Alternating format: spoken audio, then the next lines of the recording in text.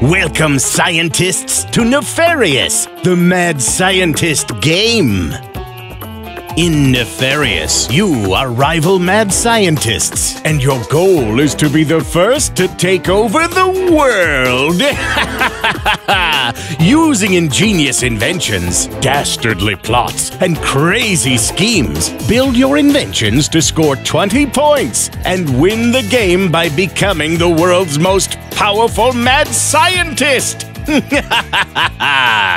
This 2 to 6 player game is all about espionage, building inventions, and plotting against other players. You will get spies, invention cards, money, and action cards for your nefarious purposes. Since you are mad scientists and this game is all about espionage, you get five spies for the game.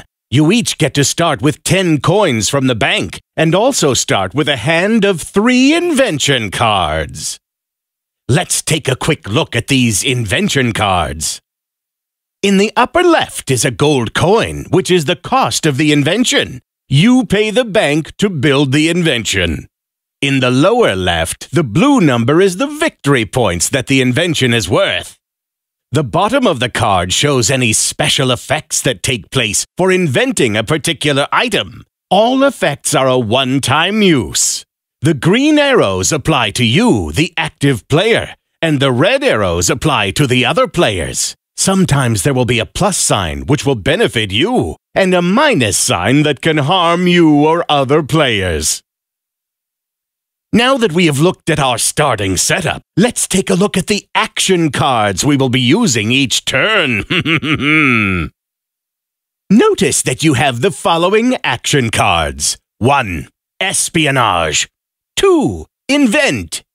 3. Research. 4. Work.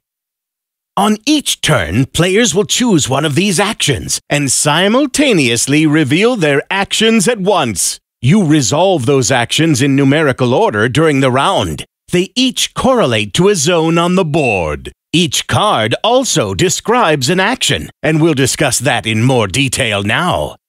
The espionage action recruits a spy. You tell that spy to go out into the world and spy on other players. Each zone has a different cost for recruiting a spy, as indicated on the board and action cards.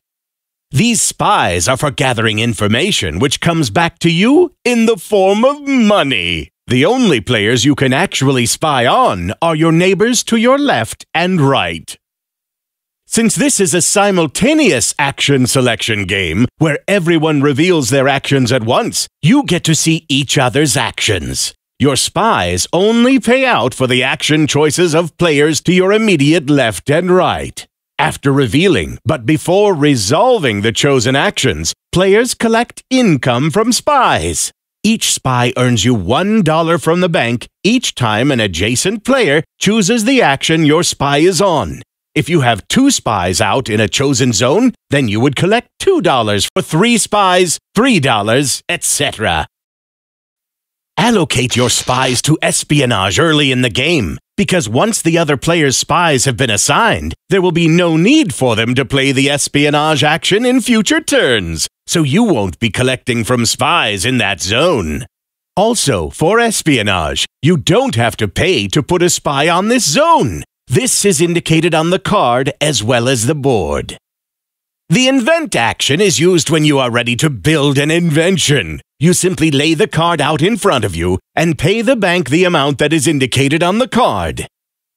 Since this is also a game about inventing, and in order to win the game you will need to invent, at some point you will probably have to have at least one spy on the invent space, even though it costs two coins to place a spy here.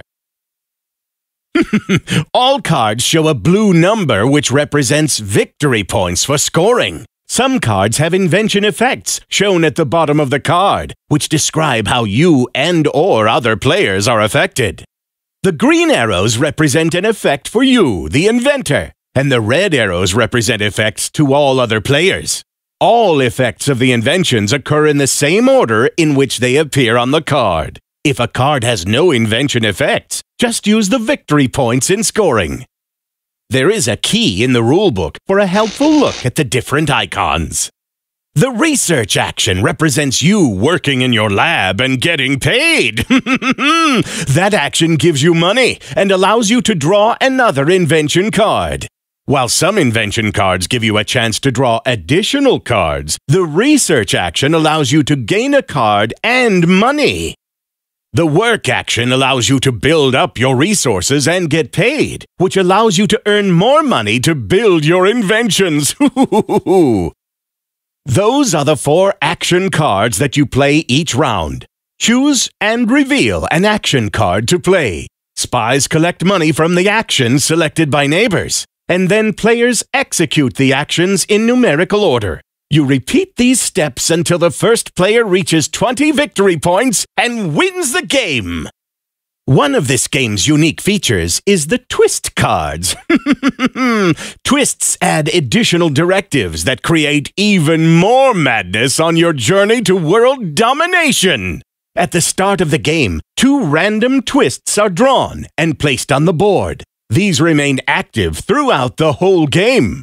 There are 36 twists in the game to allow for a ton of replayability. Here are a couple of twist card examples. The twist card Blood, Sweat, and Mice gives more money to the work action, so you earn six coins instead of the usual four. With the Twist College graduates, you get to draw a card when you put a spy on the board. This is helpful at the beginning of the game, when you're playing espionage and putting your spies in the zones. Now, let's recap. 1. The goal is to be the first to take over the world by building inventions to score 20 victory points first. 2. Everyone reveals their action cards simultaneously. Collect income for your spies and then resolve actions in numerical order each round. Espionage, invent, research, and work. 3. The only way to put spies in the zones is to play the espionage action. Think of espionage as a bet. You are betting on what actions your neighbors are going to play on future turns. 4.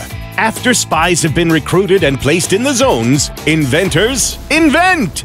5. Then researchers research. 6. And workers work. Good luck with your plans to take over the world!